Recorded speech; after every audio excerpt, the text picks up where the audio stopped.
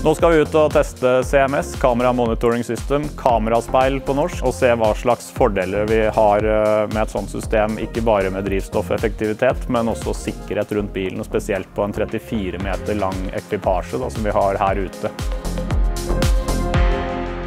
Nå skal vi ta en eh, U-turn, for å si det på engelsk. Vi skal ta en U-sving, og vi er 34 meter lange. Jeg må helt ut i kanten for å klare svingen.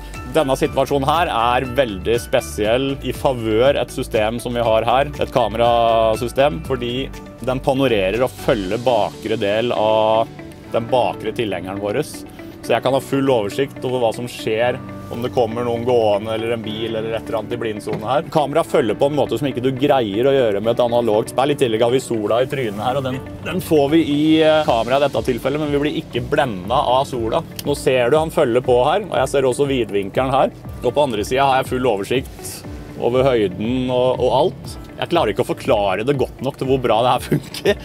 Nå fikk vi egentlig vist to-tre funksjoner som er helt overlegen på et system som det og det jeg er glad for, er at nå drar vi på med 780 hester her. det jeg er glad for, er at det er så god oppløsning, det er så god dybdefølelse i disse kamera, eh, at det føles nesten ut som et analogt spill. Det krever ikke mye tilvenning. Det følger så bra. Det følger overraskende bra. Er truckers, ta dere en tur med 34 meter. Null stress. Kanskje ikke i sentrum, da.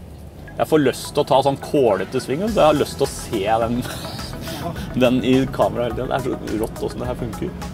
Altså Nå kjører vi jo rett fram, så nå trenger jeg ikke den panoreringsfunksjonen og alt. Og da har vi en eh, funksjon her som er en zoom ut-funksjon, som du manuelt styrer sjøl.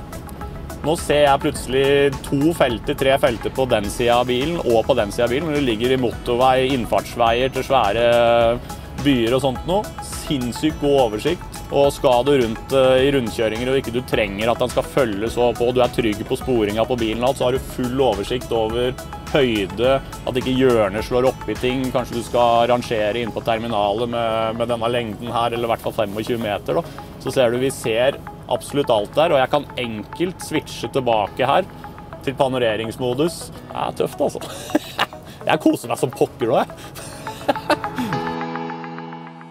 Jeg tror det er litt skepsis mot et uh, kamerasystem, uh, kanskje særlig på de som har prøvd veldig tidlige utgaver. Det har skjedd mye de siste åra. Jeg vil anbefale å legge skepsisen til side og komme seg ut og bare teste det. Jeg er nesten helt sikker på at uh, eh, 99% blir positivt overraska over dette systemet. Det er noen ting som et analogt speil alltid vil være overlegent på, dybdefølelse og naturlig gjengivelse, men vi er så close nå at jeg hadde bare trygt kjøp på ekstrautstyrlista med en gang. Og da snakker jeg som en helt uavhengig part, for jeg er veldig dårlig å, på å snakke fram dårlige ting. Så den kan jeg ærlig eh, komme med, for å si det sånn.